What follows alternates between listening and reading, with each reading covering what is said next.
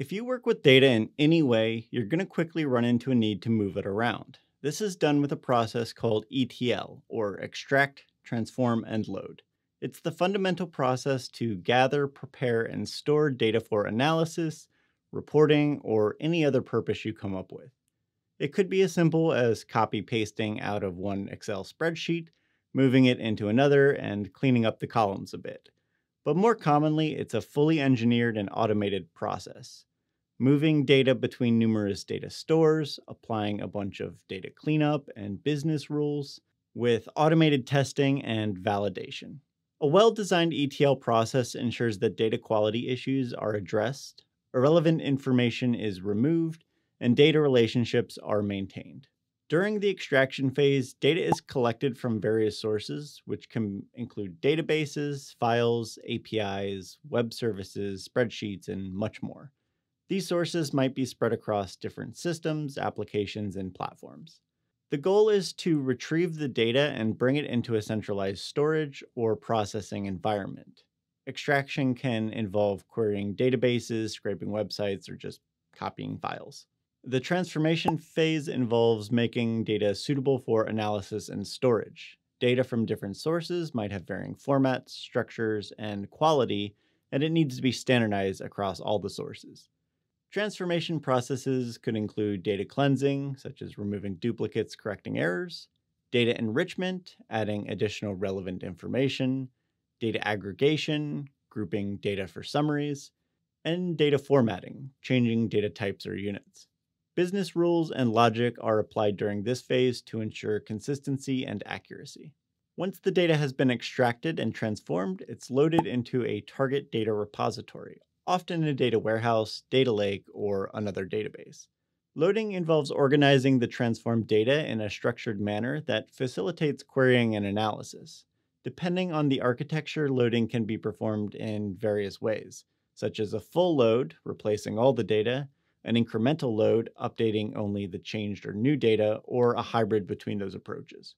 This is almost always done as a batch process, a method of handling and processing data in chunks or groups at a time, rather than processing each piece of data individually and in real time.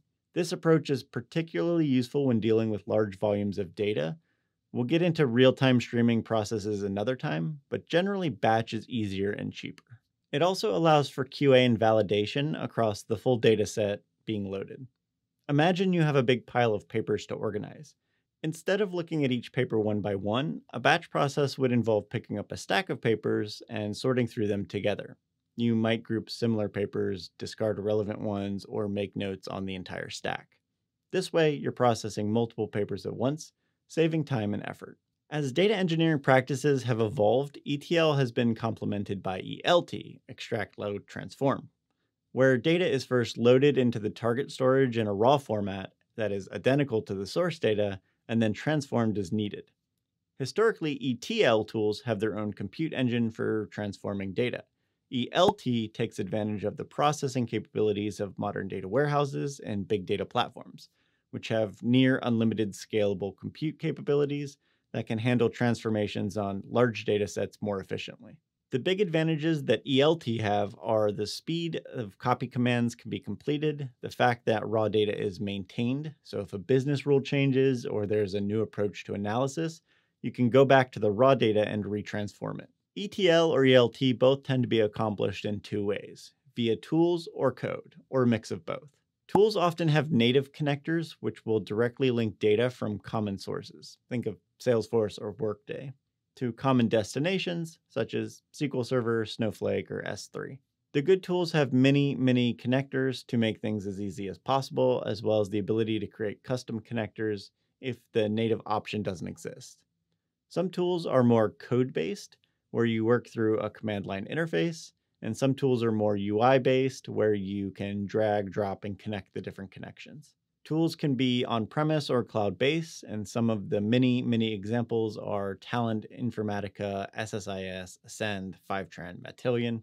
There's a lot more. Alternatively, many people just use code to create ETL pipelines, most commonly using Python and Spark. And then a variety of libraries can simplify the code, such as Pandas, petl, and SQL Alchemy. This can be as simple as reading from a CSV and writing to another CSV, or it could be many steps using data frames to do calculations and merging of numerous files together. No matter what your role working with data, it's important to know how ETL and ELT function. It will always come up. And remember, ETL doesn't just move data, it refines it into a strategic asset.